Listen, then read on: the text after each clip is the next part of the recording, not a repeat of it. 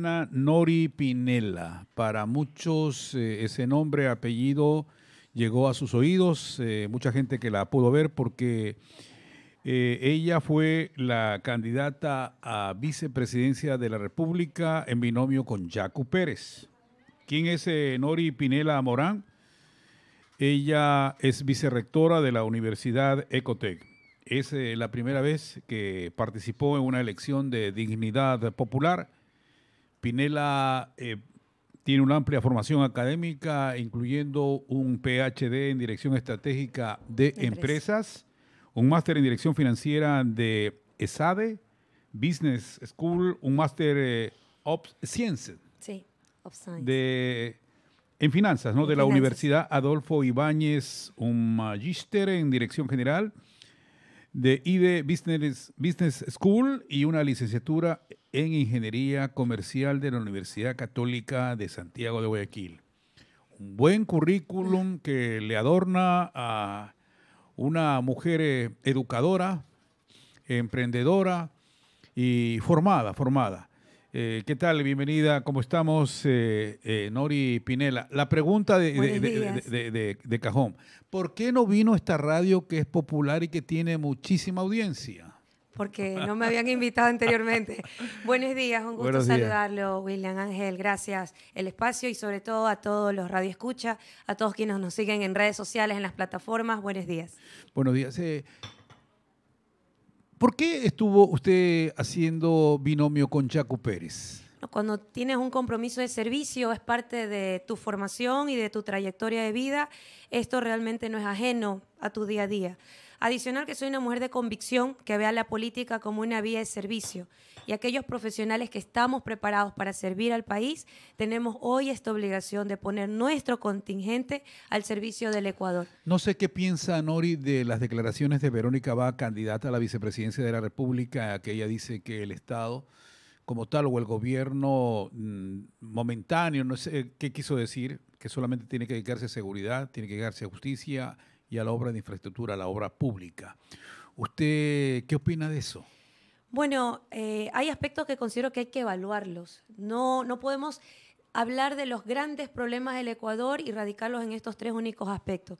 Creo que tal vez, no sé si será descontextualizado, la realidad es que hoy hay un principal problema que atañe al Ecuador, sí, que es la inseguridad.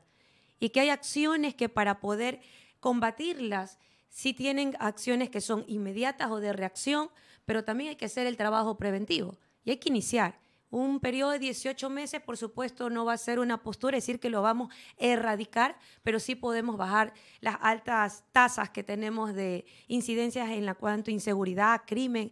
Entonces, creo que hay, y dentro de esa parte de las acciones, la de reacción inmediata, también hay las de prevención. Y cuando hablamos de prevención, entra trabajo y entra educación porque si los chicos hoy no están en los centros educativos, entonces están en las calles con la venta de drogas. Entonces, eh, son acciones que tienen que ir de manera conjunta. Ahora, en la realidad es que en 18 meses poder hacer un cambio en toda la reorganización del tejido social, que es aquel que va a detener finalmente todo el, crecimiento de, pues, de índices delictivos, de poder darle un alto al crimen organizado. O sea, sin lugar a duda, no es un tema de exactamente los 18 meses, es un proceso que son de largo plazo, pero las acciones tienen que empezar ahora. Nori, ¿cuándo? Nori, ¿por qué los chicos, los jóvenes, las jóvenes andan, no todos, eh, un buen porcentaje andan por caminos equivocados? Si no le hemos dado dentro de las políticas de Estado vinculadas a educación, no hemos hecho las acciones precisas, los chicos hoy no están en los centros educativos. ¿Qué sucedió? Tuvimos una época, tuvimos el episodio de la pandemia. Con pandemia la acción era la educación virtual, una alternativa para el cual en el mundo entero se tuvo que tener una postura de reacción inmediata. Unos gobiernos estuvieron más preparados, o países más preparados que otros. Lo cierto es que sí identificamos las realidades también del Ecuador y que la educación pública no estuvo preparada para esta acción. Entonces, eh, por lo tanto, dejaron de asistir a los centros educativos aproximadamente 200 mil niños y adolescentes.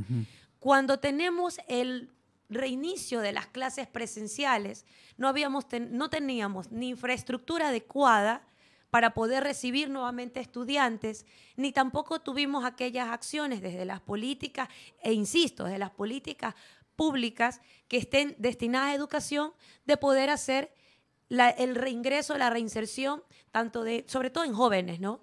Nori, Nori Pinela, ex candidata a la vicepresidencia de la República, actualmente ella labora como vicerrectora de la Universidad Ecotec.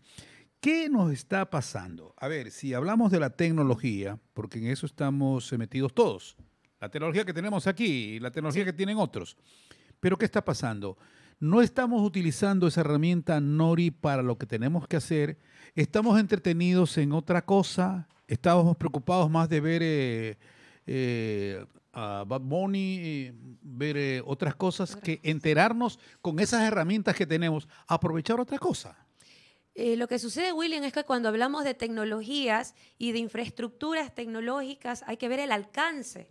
Lo cierto es que nosotros podemos hoy hacer la conexión, pero si vamos a la realidad, en la ruralidad, o en los sectores o en las poblaciones más pequeñas, los accesos a servicios de telecomunicaciones son muy limitados. Entonces nosotros entramos a ver una estadística en el Ministerio de Educación, dice que el 50% aproximadamente de las unidades educativas cuentan con infraestructura eh, eh, de telecomunicaciones. Vamos al centro educativo y uno se encuentra con que existe en efecto un servicio de Internet, pero ¿cuál es la capacidad de la red? Entonces estamos en un aula, en un trabajo de laboratorios que también es limitado y entonces tampoco tenemos la banda ancha adecuada para tener de manera simultánea a 30 o 40 estudiantes, 30 estudiantes para poder hacer un trabajo. Entonces, no tenemos realmente el tema de accesibilidad desde las infraestructuras en escuelas, ni tampoco se está capacitado a los docentes para un tema de educación virtual y poder tener el alcance eh, en las poblaciones, sobre todo en la ruralidad. ¿Por qué la diferencia? Hablamos con eh, Nori Pinela en estos instantes aquí. ¿Por qué la diferencia, por ejemplo, de Estados Unidos cuando los chicos ya eh, casi por terminar la, secundaria saben a dónde ir? ¿Qué es lo que quieren estudiar? Mientras que aquí en nuestro país, inclusive estando en universidad, el segundo o tercer año.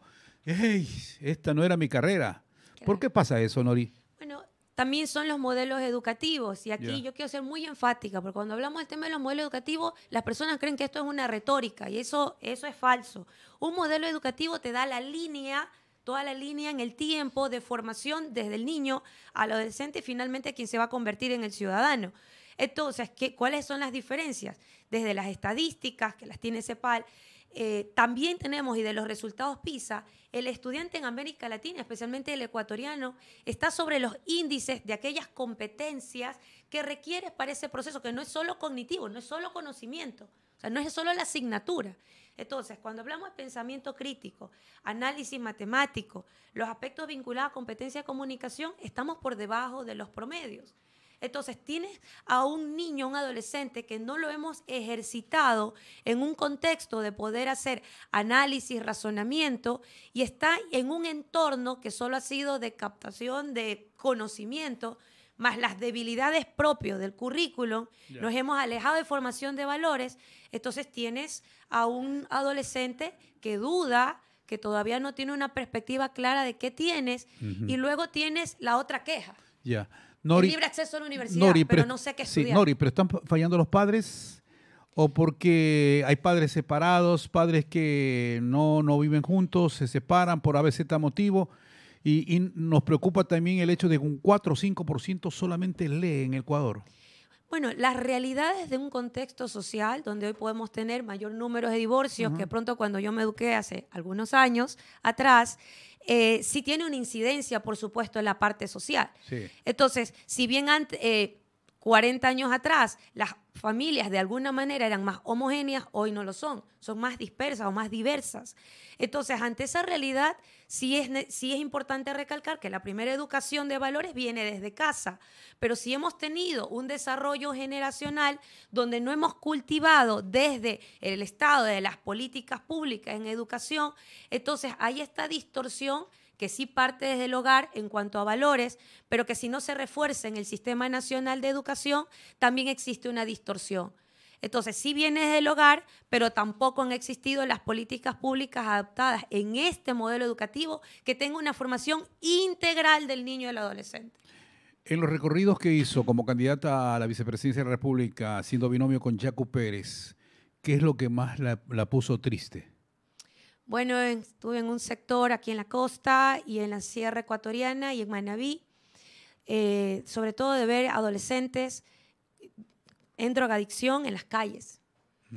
Eh, en las calles se, veía ahí que En las calles, claro. Entonces, eso es una situación muy dura. Y otra cosa, eh, también el tema de la desnutrición. Vayamos por Chimborazo, vayamos por Bolívar. Bolívar, Chimborazo y Bolívar, que son los abanderados, entre comillas, y la península de Santa Elena. ¿Por qué hay desnutrición? Bueno, porque hay que ver que el primer factor de desnutrición tiene que ver con salubridad.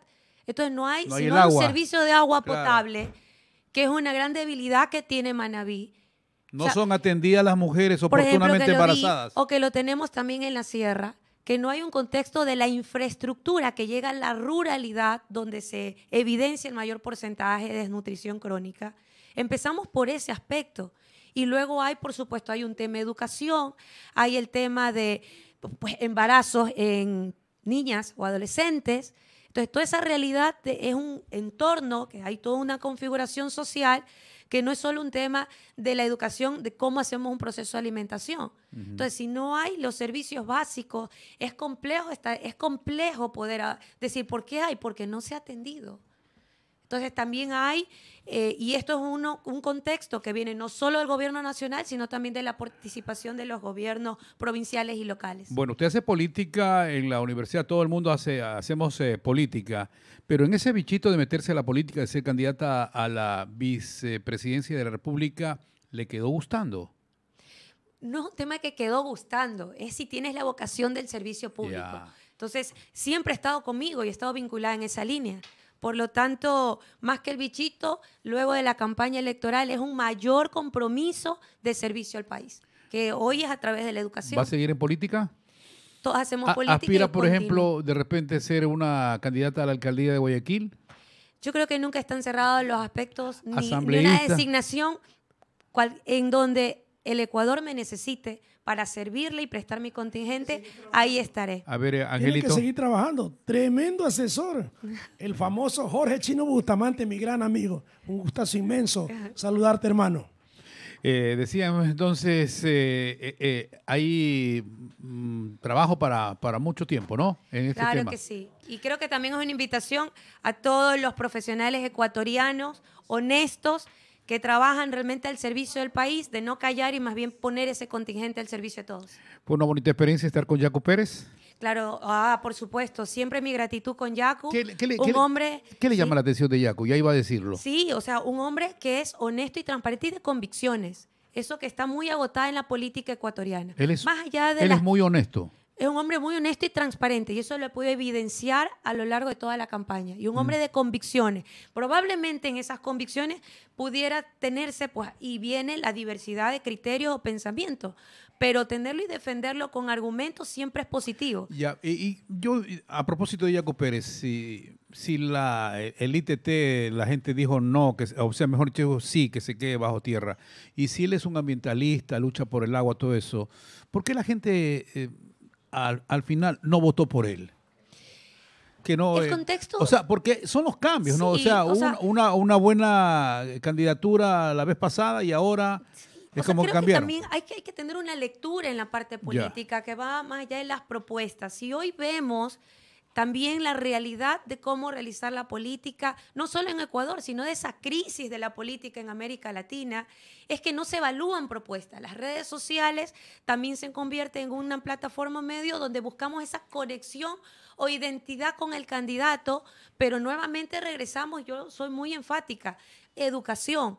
En un en una sociedad, en un pueblo que es educado, es un pueblo que también va a estar preparado para poder debatir y evaluar y exigir propuestas pero todavía nos falta mucho en ese trabajo de educación.